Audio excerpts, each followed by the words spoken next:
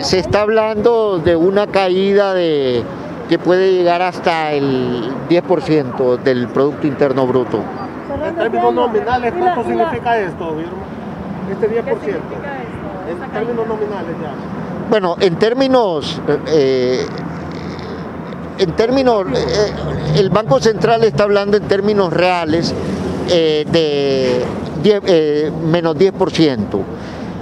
Habrá que hacer esas transformaciones monetarias, pero lo relevante acá es la caída en términos reales, porque esa caída significa pérdida de empleos, pérdida de dinamismo. Se está hablando de que eh, la pérdida de, alrededor de medio millón de puestos de trabajo equivalentes, lo cual es importante. Se está hablando de la caída del consumo, por ejemplo, eh, se está hablando de eh, una caída en la recaudación tributaria de alrededor del 20%. Entonces, la cuestión es muy fuerte.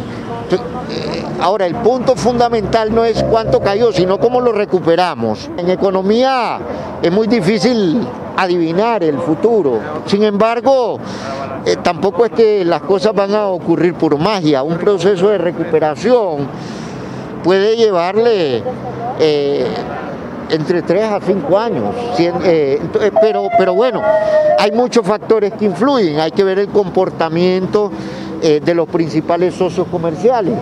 Eh, frente a todas las cosas complicadas de la economía también hay que reconocer de que la economía americana ha estado muy dinámica, entonces eso es una oportunidad que tenemos que aprovechar. Yo creo que hay que cambiar muchas cosas, muchas cosas no se han venido haciendo bien y vemos los resultados. Eh, de manera concreta, eh, un tema que es reclamo, es clamor de la sociedad, el tema de la transparencia.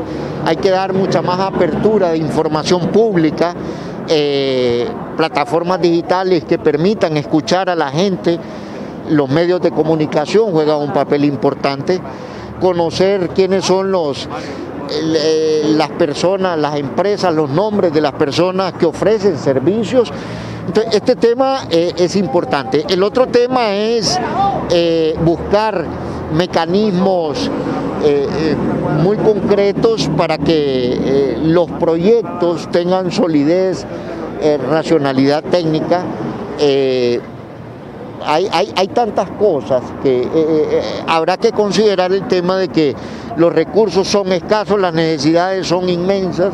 Entonces, el punto es que hay que plasmar todas estas ideas de los diferentes sectores de la sociedad en una estrategia que sea viable y sostenible. Lo que se está hablando ya es de que el, famoso eh, grupo, grupo consultivo se dé en el mes de abril. Eh, se está hablando de esa fecha tentativa eh, con España como, como país anfitrión y bueno, eh, obviamente que no solo se trata de ir y poner la mano, se trata de hacer una estrategia, desarrollar una cartera de proyectos con criterios bajo ese marco de sostenibilidad económica, eh, social y ambiental. El informe de CEPAL fue preliminar, he hablado con algunas personas que consideran que se han subestimado los daños, habrá que afinar obviamente eh, cuál es eh, ese daño, eh, analizar esos criterios, ¿verdad?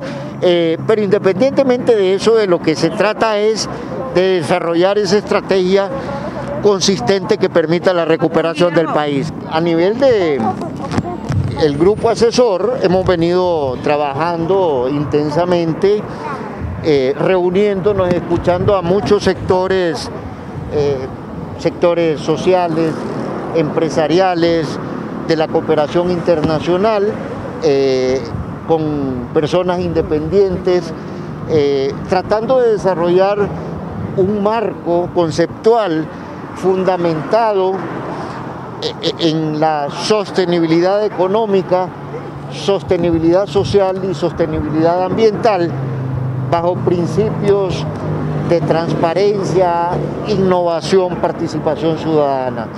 Eh, se recibió el informe de, la CEPAL que ustedes lo conocen, que habla de un daños y, pérdidas por alrededor de 45 mil millones de lempiras.